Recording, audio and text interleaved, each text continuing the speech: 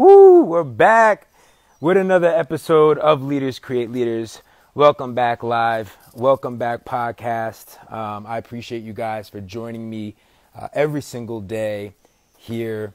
Uh, and we have a really amazing, amazing guest. But before he jumps on, I just want to welcome everybody coming on. What's going on, Joey? What's popping? What's popping? What's up, Ryan? Uh, what's going on, everybody? Do me a favor, real quick. I love seeing it's a global community.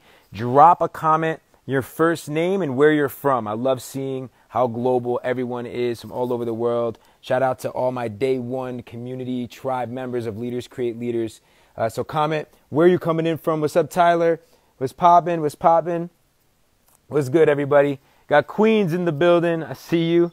We got Leo from Miami. Shout out to Leo. Shout out to Lisa from New York City. Shout out to Tyler from South Florida. What's going on, Tyler? Always good to see you. Ricky from Van City. We got Jason from Florida. We got uh, you know Hayden from Charlotte. We have let's see Collins up in here. We have some uh, let's see. We got Mahad from Tanzania. I love it, guys. We have this amazing global community. My man John Henry's up in here. I'm so excited, guys. Uh, I'm going to be bringing him on, and I want you to give a really powerful welcome to John. He is a servant leader. I mean, this guy has served the community, in the entrepreneurial community, for as long as I can remember. For me, coming into the scene over the last five years, I have so much reverence for this man, for what he has done for our community in an entrepreneur entrepreneur sense, for just also the minority community, the Latin community, African American community. He has built a venture capital fund, co founded it, raised over $40 million to help make diverse investments, over 17 investments. He's now a real estate developer creating generational wealth for his family. And he's just, uh, he's unbelievable. I mean, we're talking Forbes 30 under 30, Inc. 30 under 30. What's going on, Mick? Good to see you in here. So, Tribe, I appreciate you guys all taking some time. I think this is going to be a really powerful live with John. I'm going to bring him on. As you guys know, I always like you to just drop an emoji to welcome John. So, drop an emoji, a powerful emoji, whether it's a fire emoji, you know, money bag, the flex. Just give him a, an emoji when he comes on here to give him a warm welcome, and let's bring him on now.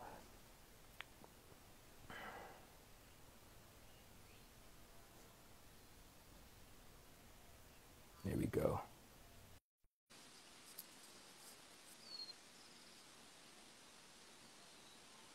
Prepare your questions. My man, yes. Yo, bro. What's up, G? What's good, bro? Oh man, so good to see you. My doing, man. My my Dominican brother over there. I see you, man, looking more Dominican than ever. It's a haircut, man. Yeah, yeah, yeah. Hey, how's Oh. that? Are you in LA right now? I'm in Sedona, Arizona. Oh, dope, dope. Yeah, How's that? You're always Ah, dude. places, man. Oh, thanks, bro. Listen, you know me. I got to It's just, it's part of me. I can't stay still. I got to keep it moving. It keeps my creative juices flowing, and yeah. and it helps me to to with this entrepreneurial lifestyle, man. Those ups and those downs. Yeah. Being able to be close to the land and and exploring and in nature, it really always, man. It just brings me so many lessons and and boost my, you know, just what I need from an inspirational standpoint to keep going no matter what. You know. Mm, I feel that, man. I feel that. I love it, bro. Thank you for the very warm welcome. And uh, I'm, yeah. I'm pumped, man. It's actually been a little while since we caught up, so I'm looking forward to it. Yeah, exactly, exactly. Oh man, it's been I bro, I, I love just seeing your journey. Even when you like cuz you're so real and so authentic that like even when you pull back, it's like you just know that you're hustling and making real moves. And there's a lot of, you know, the instapreneurs and people out here that that have the followers and have the fame and all those things. But there's there's few that really are as raw as you are that really and provide real real value man. Like you just you're you just let everybody in man. So i appreciate all the work that you've done. I, an honor to to have you on today man. So what i'm going to do is i'm going to pin a comment john real quick. Yep. um and in the meantime bro why don't you guys if you haven't seen john's full story you got to go to leaders create leaders and watch the episode we did a really powerful episode together but John, I want to get right to it, bro, because you have. Uh, it seems like you have learned a lot over the last year. So Mm. I want you to just talk a little bit about right now what has shifted for you during this you know, this economic recession during this health crisis with COVID, like what have you learned during this time right now? Man, wow. That's a great, it's a great and powerful way to start. Um, and I think that the, what I've learned is that I've learned over the mm-hmm. last decade. Um, and I think, you know, when we're caught up in our process and, you know, day in, day out, sometimes it's lost on you just how much you're actually soaking in. And, you know, we place so, myself included, so much pressure on ourselves to kill it, to crush it, you know, to raise money, to do this, to do that. And um, it's not until, at least for me, at, at a time like this, when you're forced to take a seat and really observe.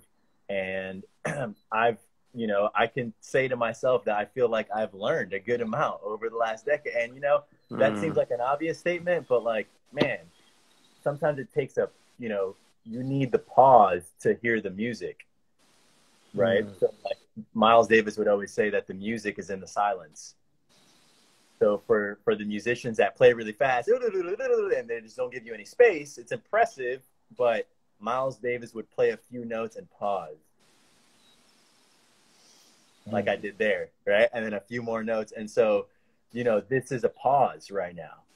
This is a pause and it's a very weird kind of pause because for the one of the only times I can think of, the whole it's a global pause.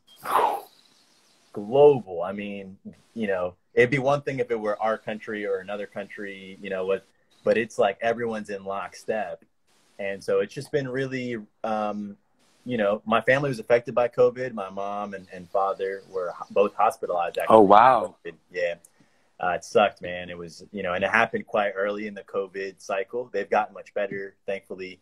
Um, and, you know, life resumes as, as normal. But, you know, I know that not everyone was fortunate enough to, you know, they didn't go through it like that. You know, there were different outcomes. So anyway, I'm coming out of, you know, I'm, I'm in, in the thick of it now and um, just feeling really grateful to have learned. I mean, I've learned a lot about business, but here's one thing, man, like you're going to learn whatever you spend your time in, right? Like I saw Mick in here, you know, Mick is yeah. a high profile DJ, you know, if you know, he's gonna say if you've asked him, if you ask him like, what what have you learned over the last decade? You know, DJ is gonna be at the top of the list because that's what he does every day. And so like, it's just giving me that piece that like, hey, whatever you do day in day out, you're gonna get better at, and yeah. some and that relieves some anxiety for me about the the process because you just do it day in day out, you're gonna get better. Um, and then I think the last thing I'll say is.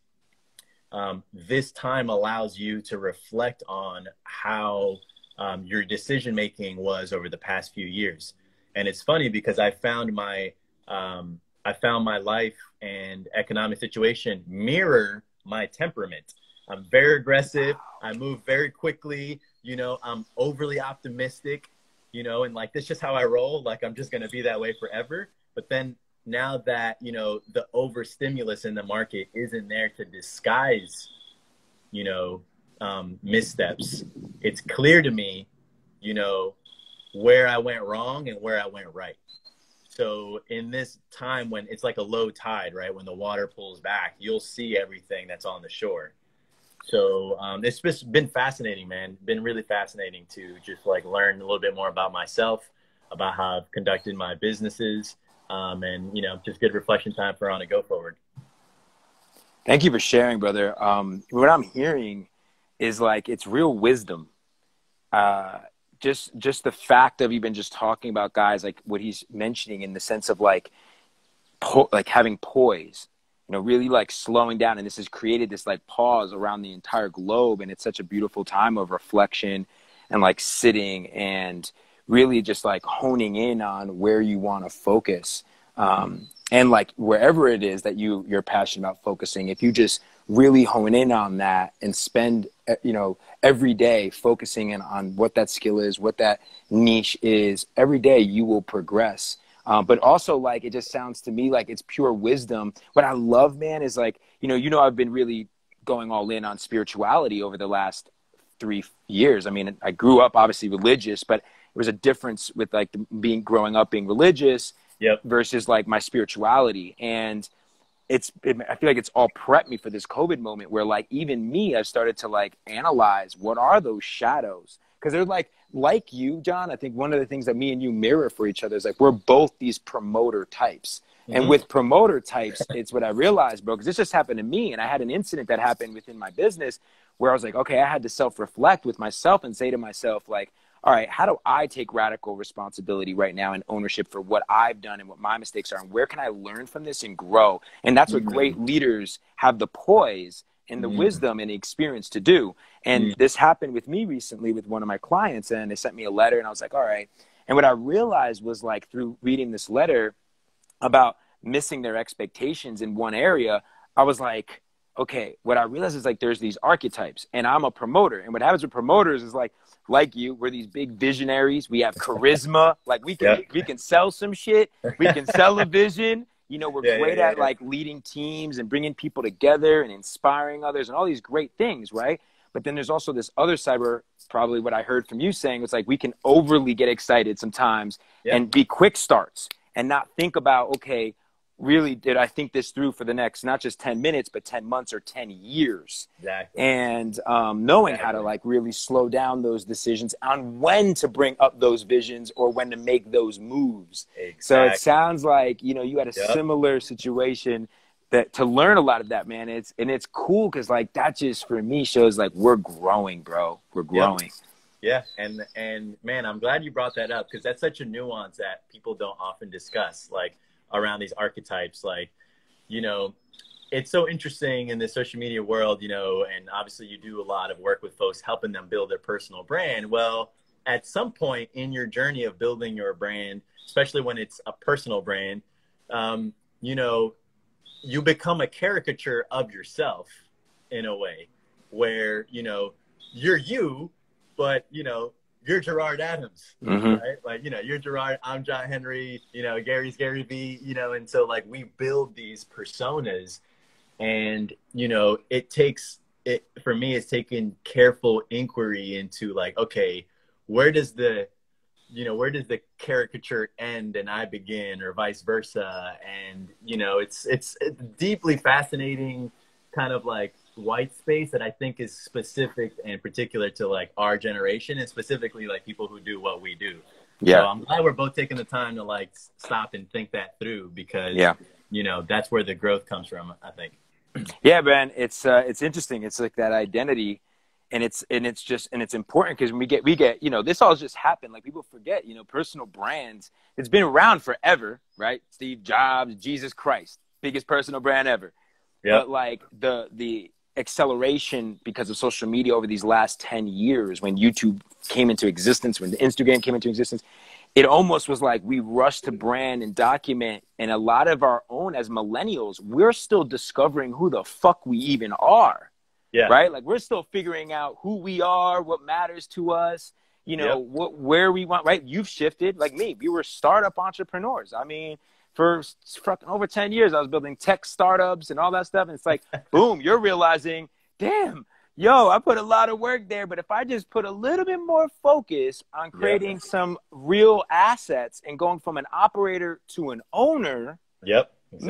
Man, what would the next 10 years look like for me mm-hmm. and the legacy that I live? Good catch. Right? That's exactly that so, shift that occurred. Yep. So then all of a sudden it's like, oh snap, I just built this persona that's all startup entrepreneur based. Yes, I'm still that guy. Yes, that's a part of me, but that's not who I am. I'm this, you know, multi-dimensional human being that's growing and is going to continue to like learn new skills and try new things. And and um, and I've been seeing you do that, bro. And I honor you, man. It's Thank really, you, man. really powerful, bro. Thank you, man. Thank you. Yeah, it, it took, you know, it's interesting because I was already in business for years. You know, at, first I thought being in business was kind of like the first, you know, holy grail, so to speak. Um, but then you realize, you know, to your point, you know, I discovered the power of assets. And the reason I just care so much about it, you know, like I think people prescribe this very black and white shrewdness to business, let's say. Um, but I don't know. For me, man, like obviously you and I both see it as a vehicle for change. And going through my experience with my first and second business, where I built them up both And then I realized, like, man, unless I'm there running the business, look, unless you take it to a liquidity event and sell the business, then you get a little bit of cash, which I was fortunate to do once. But then, then on my second go around, you know, it was a non for profit, and I realized like there was going to be no liquidity event. And you know, you went through something similar with founders. Yep. Yeah. And so, like, I just started thinking, like, damn, every time like I start something, yeah. I gotta like build all the way to the end. It's like you start mapping that out, and you're like, all right, well, there's gotta be, you know, what's up, Trav? Trav Weeks is in here, Driven Society. Um, there's gotta be a way that you can work this out, and then you start looking historically to some communities that like I admire very much, like the Jewish community. Um, yeah.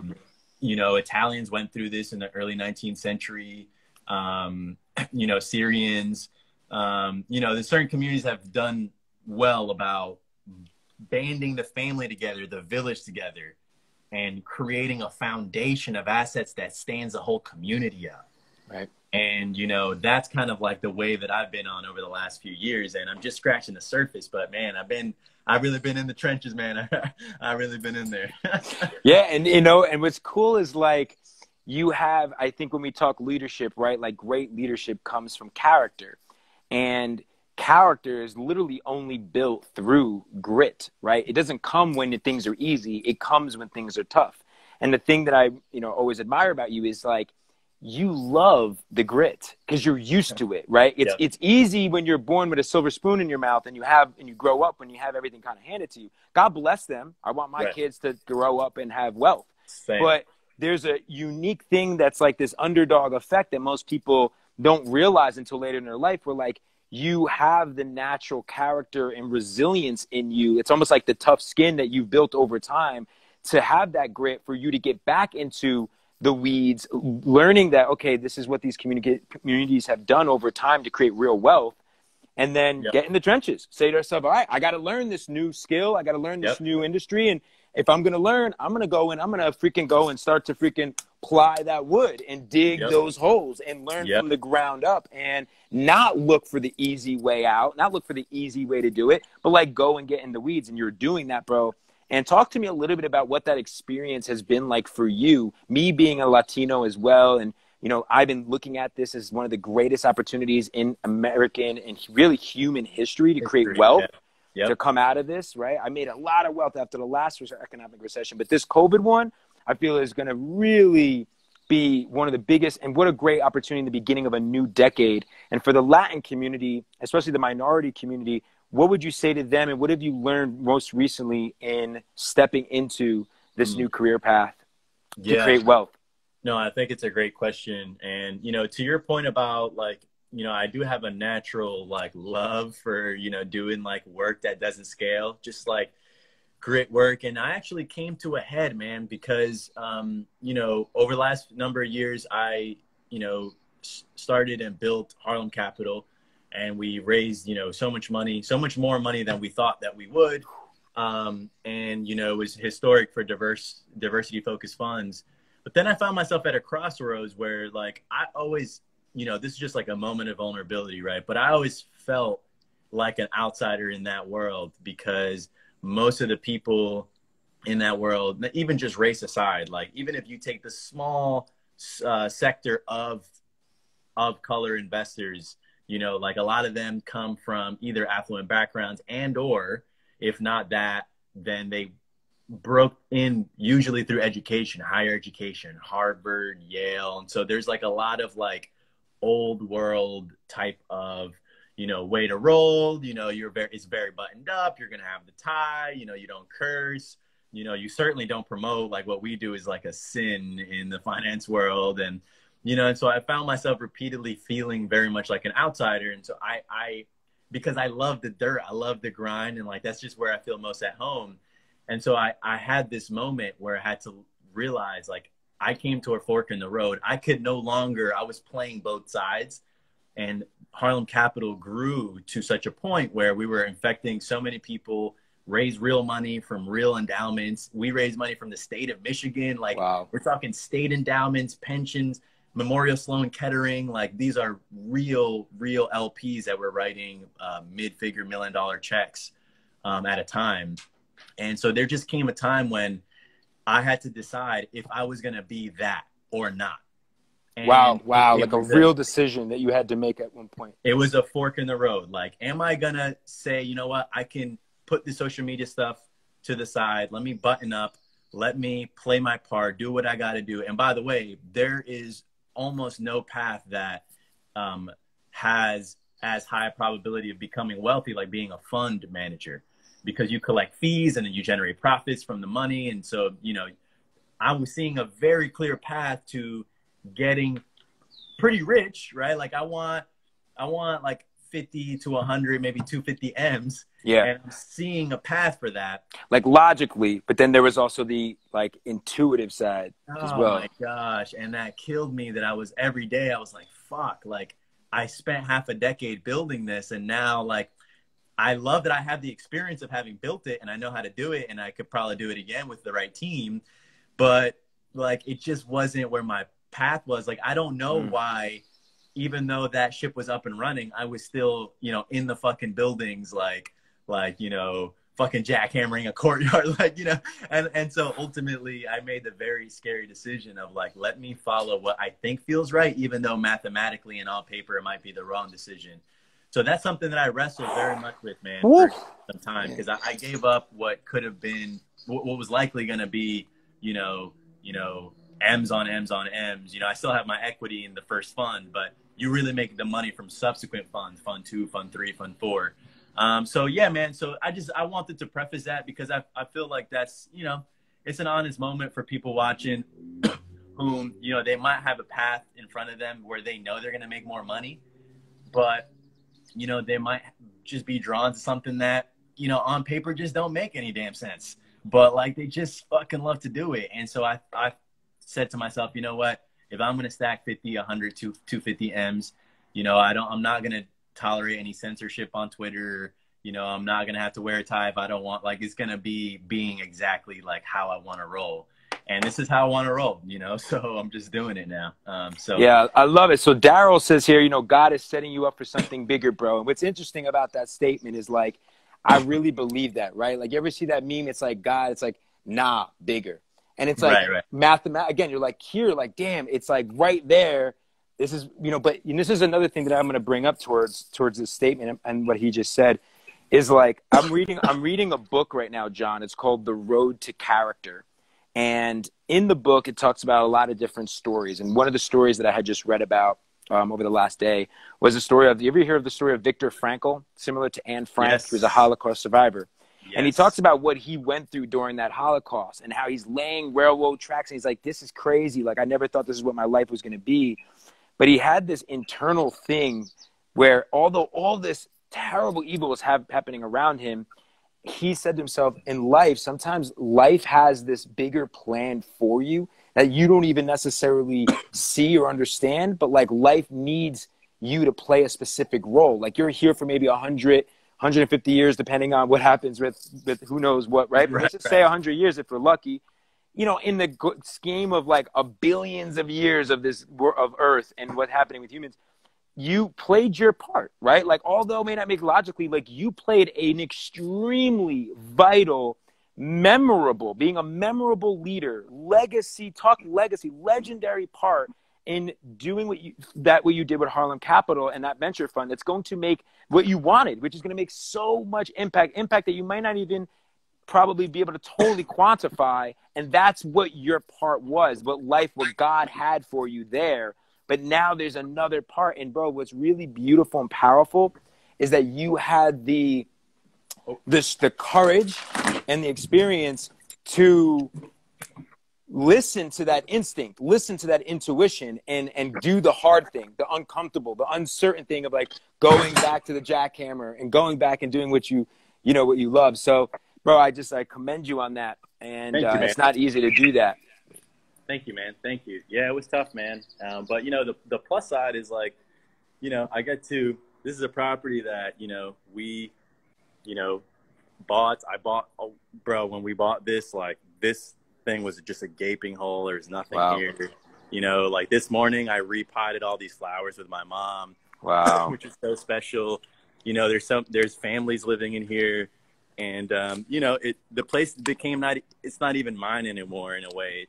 You know, it is like on the cap table, but like it just becomes part of know, the fa- other families now. Yeah, just be, and like it gets to it becomes where someone else hosts memories, and so yeah, I guess to your point around like this is a um, this is a, a great time to build wealth. I I agree, man. I agree, and I'll just preface with this: it's hard to look at this as a like a purely economic play because there's so much suffering. So um, you know, first and foremost, just very mindful, especially because like I, I, you know, I'd been affected, so I know it's a real thing. And hundred thousand gone, and I'm looking at the leadership. I don't mean to make it political, but just yep, like, yep, yep. I don't see the type of leadership that makes me feel dignified and like you know, whatever. I agree. So I'm just feeling like, okay, man, all right, you know, let's like I'm feeling like really energized to mobilize, man. Like the work that you and I do, G, right now is extra important, extra. Yeah, and and you know, there's gonna be a lot of you know, there's gonna be a lot of Tai Lopez. I don't mean to rag yeah. on time. There's gonna be a lot of guys like that springing up and trying to teach courses on real estate and stuff like that. I don't care what it takes. You know, I really want people to mobilize and you know develop because look, at the end of the day, there's a, a number of frontiers where you can make impact, but um, there's also like there's a hierarchy of those like political i've realized matters a lot because policy when you change policy mm. oh yeah so i'm right. just becoming more sensitive to policy being a frontier where there's change you can affect change but then there's also economic change right because when you yeah. have a strong economic base and by the way it's not enough for one person to get rich like you need a community of people to develop, you know, to be upwardly mobile and lift their median net worth. Why? Because then they have real representation in their communities. And I yeah. realized, right, because of where the places where I buy, that the more affluent neighborhoods, pay attention, they have more stop signs on the on the roads. They have more stop signs. I realized that I was like, huh, why? Because they're concerned about speeding and their kids getting hit. So what do they do? They rally in, in local community and they put stop signs. You know, their roads are paved. You know, and like wow. there there's there's less uh, on average. There's eight times less liquor stores, and you know, that in more affluent neighborhoods than poor neighborhoods. And so all that stuff even just like these design. Wow, that's so interesting because I remember when we were doing the social impact work um, for a uh, little over two years in Newark, building out the community there. Um, and Norfolk and Sussex. Shout out to everybody from Jersey. You know, one of the things that we were doing, we were activating in the community. We were, we were planting trees. We were, you know, going and serving students. But I remember at one point we did, we were going and just cleaning up garbage from the street.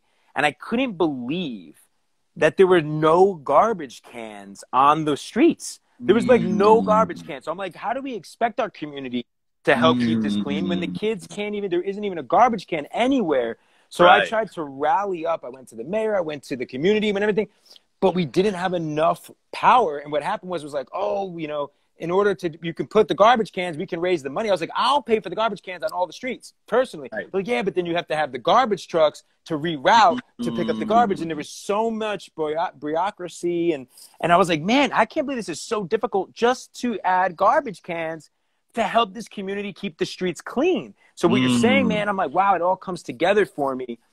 It's really powerful. Yeah, talking no, about that. So that's a very powerful point because it all there's a dom you know there's domino effects and and who's gonna want to you know it's it's easier to you'll want to keep your community clean if you find it clean a but then b if there's you know ways to keep it clean like you're saying with the garbage can so all these things all tie in and then it just lowers someone's talking about vibration it just lowers the the median vibration and so right. now we're getting into societal and systemic things and you know i haven't began to uh, you know uncover the depths of all that but what i do know is that you know folks like you and i we're in position to at least start affecting change.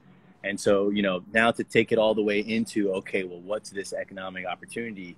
Well you know who knows you know how industries are going to be affected. Um, but what i do know is that you know income generating income generating real estate stands the test of time and um, right, you know there's going to be a lot of investors that were overzealous in the amount of money that they paid for property um, and they're going to be hurt coming out of this and so you know it's just it's time to get in position, which means that you have to yes. have the basics in place in order for you to, to be able to acquire. So um, yeah, we can get into some of the. I would like to. Yeah. Yeah. Yeah, I would um, love to do that. Let's let's let's do some education here. Let's go into a little bit of the nitty gritty. Um, you know, this is something that you know I'm still a student of the game. I'm looking, you know, be in position. Um, even just in places like where I'm at now in Sedona, I went to some different houses. I'm getting a feel for the market. Right. Primarily because now global travel is going down. People are going to be looking for places like this that I feel are these areas where they can drive to with their families. Um, yep. They're closer to nature. So, like, talk to me a little bit. Like, just I'm I'm going to let you kind of run here. What are some of the basics that you should look for to start getting into position, regardless of where you're at on that hierarchy of of you know yep. of wealth in your life? Yep, I love it. Um, so, a couple of things that I've learned here. One, you should follow the deal. You shouldn't buy necessarily based on a budget. You should buy based on the deal. And I think that that confuses folks at first because your natural inclination will be, okay, well, I'm going to buy what I can, you know, afford with the cash that I have on hand now. But then, you know, if you're like me, when you started, you know, you didn't have much cash on hand. So then that leads you to kind of smaller deals, which inherently have less value because anything four units or less is considered residential. And the way that the reason that's important is because the way you value residential real estate is based on um, what other houses in the neighborhood sold for, mm-hmm. right? So it's like, okay, you bought a house. Well, it the Susie's house on the block and Joe's house on the block. The value of their home kind of affects your home, right? And so that's what happened with the housing crisis, where like everyone's uh, asset is tied to one another. So when the value goes down, kind of they all come down when the median value comes down. The reason I really like multifamily apartments and because anything five plus units is considered commercial, meaning it's being used for commercial gain, which means anyone buying a 12 plex, a 20 plex is not buying in it to live in it like a house. They're buying it because of the income that it generates. And now here's a really important thing the valuation method, the way you value income properties, is based on the net operating income. In other words, how much cash flow it produces. And I don't know about you guys, but we can't control the housing market. You can't control what Susie's house down the block sells. And by the way, there's a lot of people that make good money doing that because they they know they have a good eye for aesthetics and they know how to make a home you know, ideal for like a Susan, you know, like a first time home buyer. From you know? family. Yeah. Correct. And th- that's not really my skill set. Where, where I, the reason I like commercial is because if the valuation is going to be based on the income, then that's a figure that I have completely within my control. Mm-hmm. Right. And so that once I realized like, okay, I'm going to go commercial. Then next step, I found it, you know, I found a property. I went on loopnets.com and you can look for deals and the next thing you'll be confronted with is you're not going to know what's a good deal, what's a bad deal. You know, people will ask me all the time, well, what's, you know, what's a good deal? What's, well, until you crunch a hundred deals, you can go and download a deal analysis template, which is what I did when I was teaching myself this stuff. And I would take the first deal that I found and pop in the numbers. This is the purchase price. This is the cash flow that the listing says. And then it would shoot a return out. But if you only have one data point, it's not enough for you to learn, right? It's like Facebook, the algorithm gets smarter with more volume. Right. And so you, your mind is a model and your model gets smarter with more data. So I crunched the next deal and the next deal. And then I realized like, oh, okay, after I crunched 100, this is on the low end, that's on the high end. Wow. I didn't realize that higher return deals, people chase those, but then you don't realize that they're u- they're usually high return for a reason. That's because like there's a lot of shit that you got to take on. so so you you go and you do that homework, and then ultimately you get to the point where you say, okay, this is going to be the deal. You might not have enough cash to buy it. Maybe you do. If you do, that's great.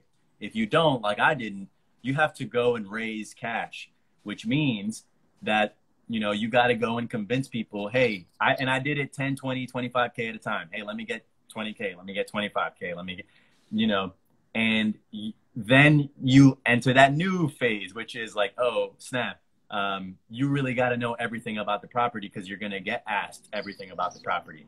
and then you know ultimately once you're able to bring on that capital and and you have the bank give you the loan which by the way now here's a really interesting thing. Banks care more about the asset than you the individual when you get to the commercial level. Interesting. I, oh that's that could be a, thinking, that could be a good thing. That's a great thing. Yeah. Right? because i was sitting there thinking like damn why is a bank going to loan me like a few million dollars? This is my first right. time doing this. And then i realized that they because it's commercial and it's based on the income of the property, they're yeah, only looking at risk. secondarily. They're looking at how good is the deal. And then I realized like, oh shit. And then the investors, they care about your operating chops, but they also care about the deal. And so then I realized like everything comes like all the value is really the deal. So if you find a good deal, you will be able to tie it up. Mm. Um, so so anyway, look, I know I covered a lot there, and you know that you can unpack that over the course of honestly a lifetime. But what i will say is whether you get into that game or whether you get into houses or whatever guys remember this. You can't win the game of monopoly without at least having houses right? Like it doesn't matter if you have a, the most cash in monopoly. If you don't have anyone land on your on your squares and pay you rents you don't win the game and so I realized like life is kind of a similar way where you're not necessarily trying to win, but you're trying to develop comforts. You're trying to raise your family's vibration. You're trying yeah. to afford a good life for your kids. And having a stockpile of cash, believe it or not, doesn't get you there. What gets you there is having stock that people land on that pays you that you can grow your family. So that's kind of like the crash course on that, man. Um, and you know, I know it got like it's in the weeds some, um, but I do the best I can to explain it in a way that gets people to be like, oh yeah, but also without trying to cop out on like some of the, um, you know, the, some of the tactical stuff. I love it, bro. So much that we can go deeper on. We'll have to we'll have to talk more about that and see how we can continue to serve and this and continue to learn from you, bro. And can't wait to see you. Um, you know, it's interesting because what you're talking about and it's something that i think we all think about especially us millennials right is like financial freedom. And it does, it's not easy to create but when i think about when i met with one of my fund managers and he asked me he's like gerard what's like what's like the ultimate goal? Right? And i was like well financial freedom in a sense right with my money right. that i've saved up. And he's like well what does that mean? And then and we got into this definition of guys i want you to comment what is your definition of financial freedom?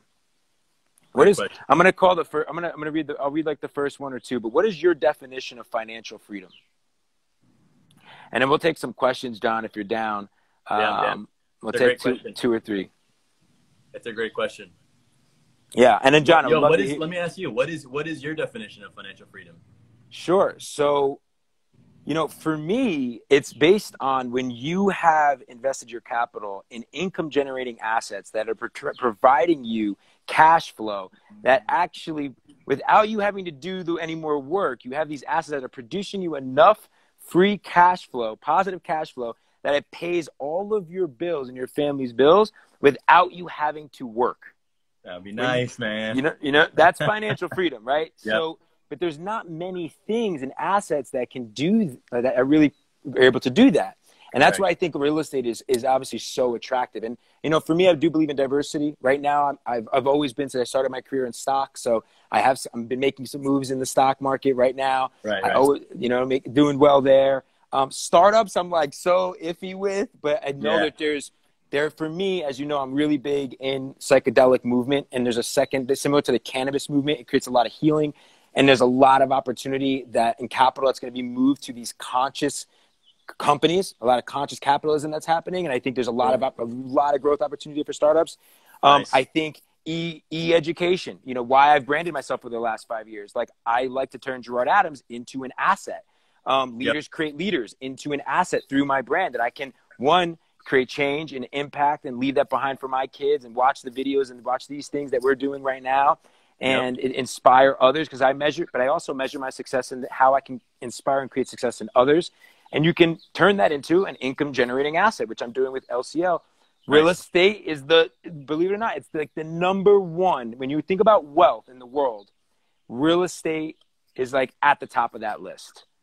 You know, believe it or not, art is too, which is really interesting because I love art.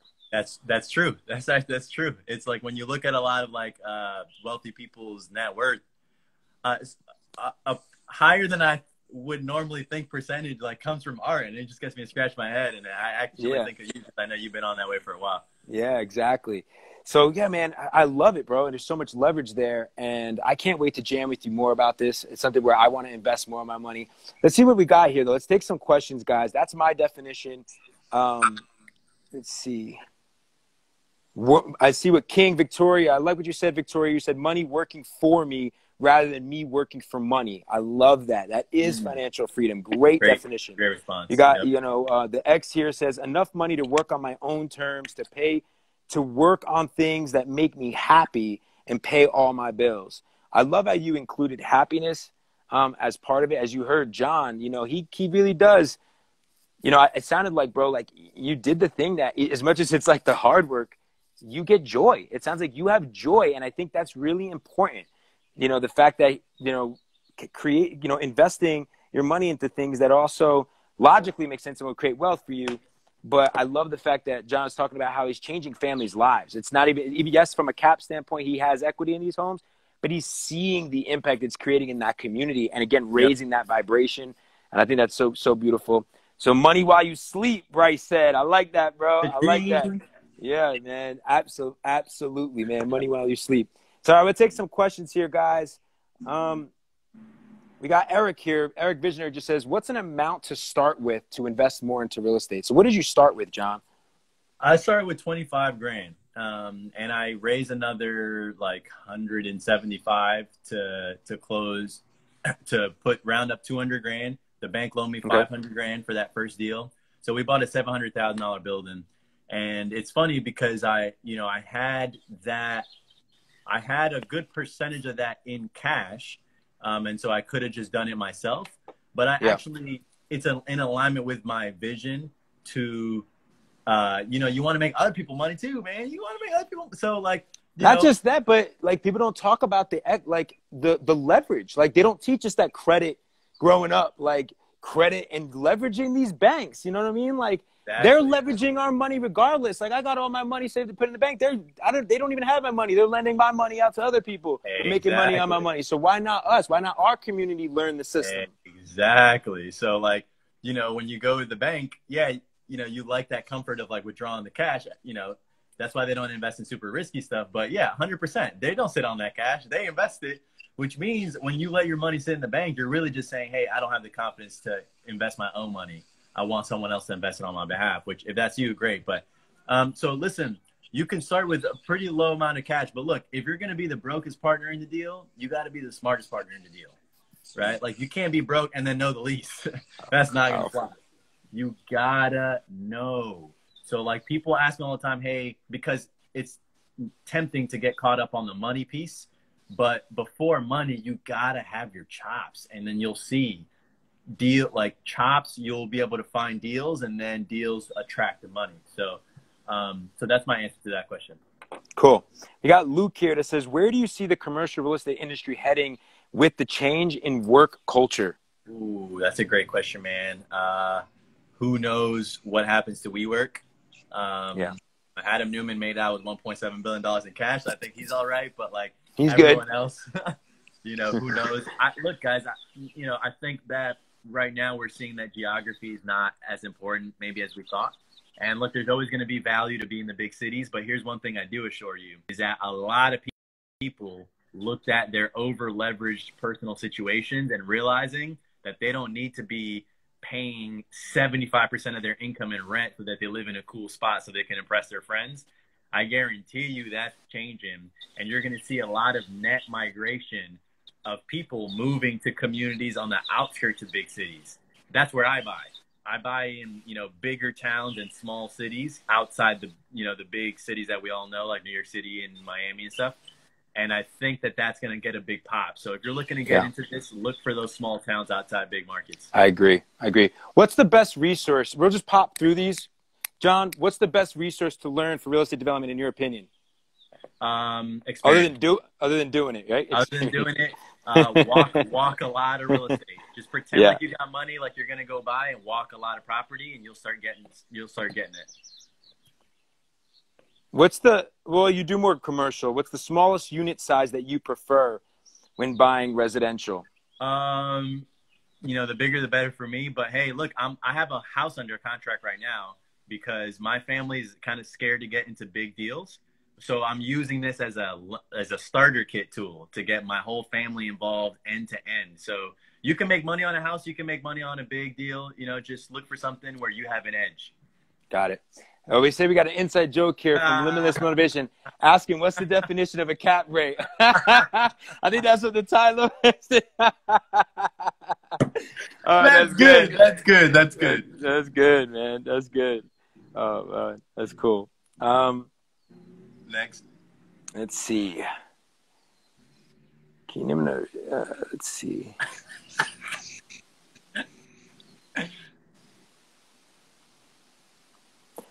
Um, is it a good idea to think of a business in a global scale before starting local? Uh, uh, it I depends think on it the depends on the business, right? Yeah, it depends on the business. Like if you're gonna, you know, if you're gonna start real estate, obviously not. You can't be global. But some businesses are just like inherently global. Like you know, probably your business. Yeah, yeah. We got we do have another question here from Technary. We've been talking about a, a, a cap rate. Is that relative to real estate as well, John? What uh the cap? What's it? What was that? Yeah, we, well, right above tech, uh, Technicary. What uh? Let's say talking what, it. what's the definition Yeah. of cap rate? Yeah. Um, yeah. The, well, so the for those that are actually, Yeah, yeah. So I could break down the cap rate a little bit, you know, because such a basic term. Um, so the cap rate is the the net operating income over the purchase price, but it's just fancy talk for saying like, hey, if I buy a deal all cash, what's my return? Yeah. Now you almost never buy a deal all cash, but the reason that you think that way is because the financing piece, the debt that you get, can vary so much to, from individual to individual. So it can taint the performance of the property. So you usually want to underwrite a deal to start just based on the cap rate. So you have an understanding of how well that property performs. And just to break that down a little bit more, because that's just the number, but here's this, the here's what information it should transmit to you as an investor. The lower the cap rate, meaning the lower the return, typically the more stable the property is, right? Because a low cap rate means if since you're getting a low return, that means you're paying more for the property. So low cap rates usually indicate higher purchase price. And so when you see low caps, like in New York, you get a three cap, which is the the equivalent of what a bond, a U.S. bond, pays you. So that's the stablest it's ever gonna get, right? And so when you see like cap rates at like 14%, you know it's in the hood. You know it's got a lot of shit wrong with it. Like you know, and that's okay. Like investors like myself, we learn how to deal with that hair on that deal. But the cap rate will indicate to you how much risk is involved in that property. And just the last thing I'll say there is when you're starting out, it's okay to pursue higher cap rates because hey, high risk, high reward. You're starting Right. out, you want to build your money up. But as you get rich, like if I had a hundred million dollars invested in real estate, I'm not gonna go for a 10 cap, and you know I'm gonna go for something really stable because three percent of a hundred million dollars is three million dollars a year in income, and that's you know perfectly good if you ask me. So, so cap rate indicates risk. It's got so much information in that cap rate, how much risk, how priced the property is, and so on. so John, what are like, what are three things to avoid? Mistakes that you made when you came into real, real estate development that now you would, you know, mention to people to like really avoid. Like these are the three mistakes that you made, or you see that are common that are out there that people make when they get ready to start investing into real estate. It's a great question. I think first is, man, I estimated um, the cost of repairs because I'm just so optimistic. I walked into a building, I knew it was beautiful. It is beautiful. I doubled the value of it, but but at first I was like, oh yeah, it's just cosmetic, paints and floors, you know, and like I didn't know, and there's no way to know to be fair until you've gone through it a number of times. But I didn't know to look for the right things. So to the extent that you can, please walk property with someone who's got a trained eye You know, I didn't see the windows needed insulation. I didn't see the floor joists were bad in some spots. And, you know, I didn't know about water boilers, about roofs, about stuff like that. So the, the number one, number two, and number three of for the three tips is learn to estimate costs because you'll find sometimes people are scared of a deal when they shouldn't be because it just looks bad. No worries, you can fix that up. You know, so you might be able to spot hidden value if you get good at spotting costs.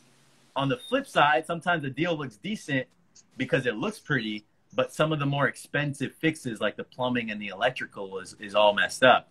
So learning to look for the most expensive things first is key. The most expensive things is electrical, plumbing, structural, and the roof. Like anything else is not that expensive to fix, I promise. Mm. Paint is cheap, floors are cheap, everything else is cheap. But those three or four things will make or break the deal for you. Did you think about it when you were thinking about making these repairs and getting involved and now you're developing and you're in it?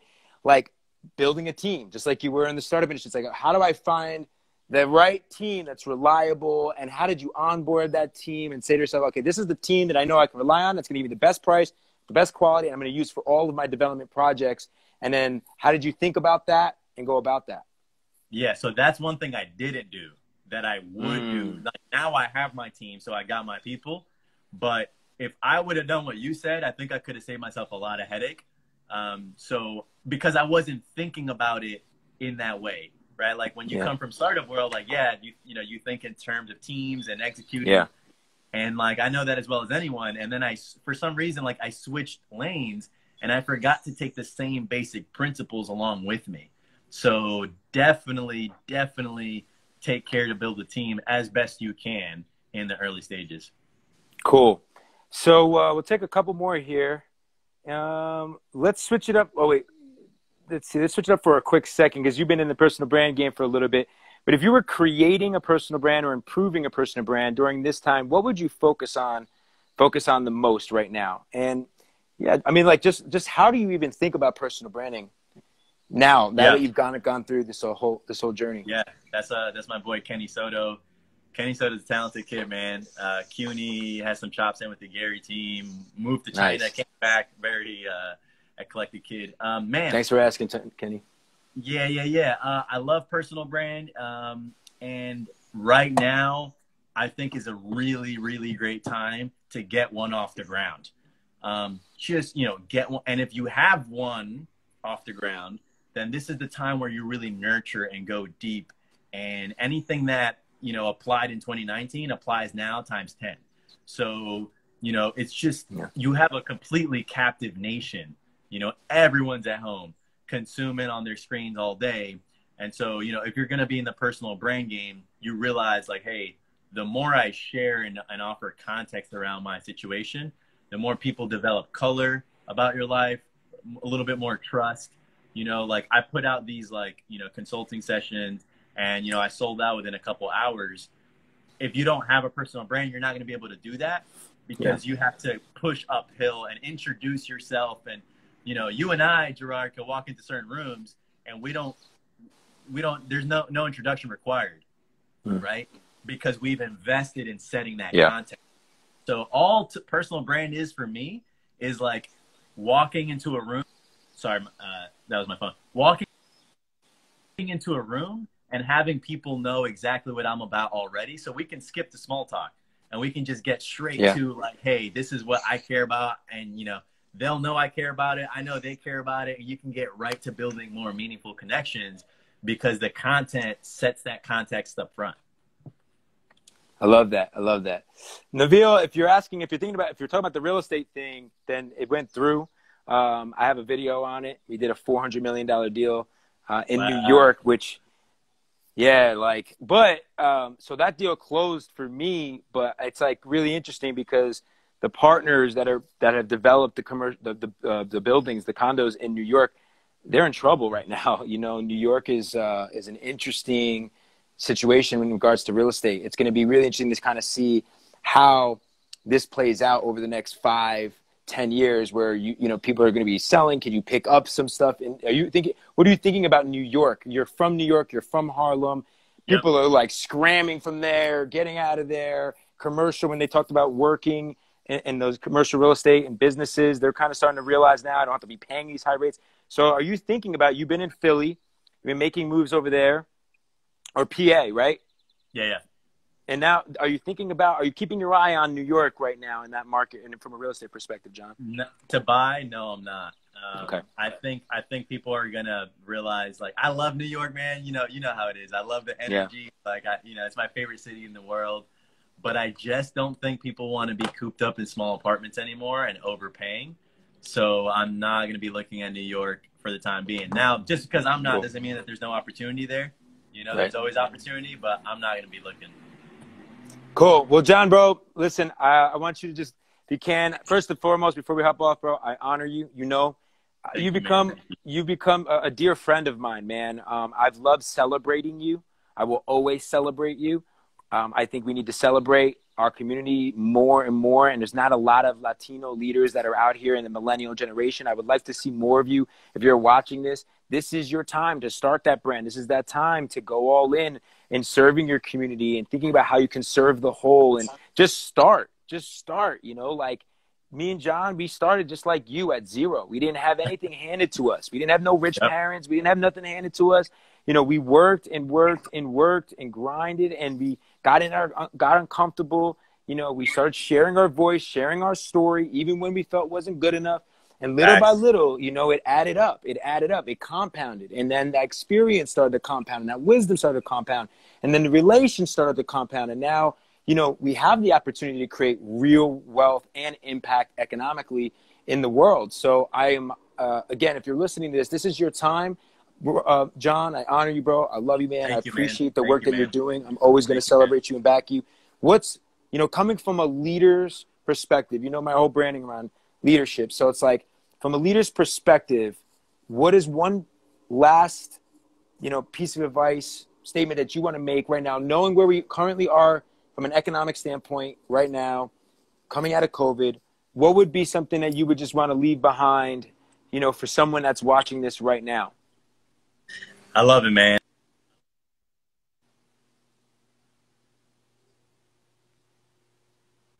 Blowing me up. um, I love it, man. Uh, hey, love is mutual, man. Love and respect is mutual. And look, my line is what came to heart is exactly what you're talking about.